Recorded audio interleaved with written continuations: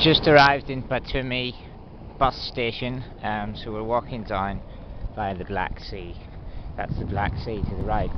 We're walking down towards the hostel. This is Batumi, seafront, very quiet, a bit chilly and a bit different and also a bit tropical looking, even at night. Palm trees are lit up and it's pretty dead, very quiet, not many people about at all. So this is Batumi.